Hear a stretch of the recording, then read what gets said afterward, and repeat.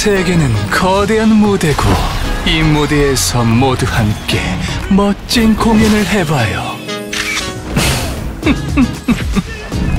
이제 커튼콜의 시간입니다.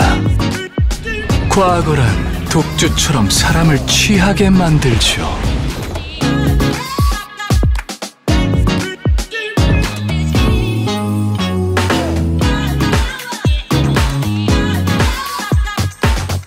세계는 거대한 무대고 이 무대에서 모두 함께 멋진 공연을 해봐요.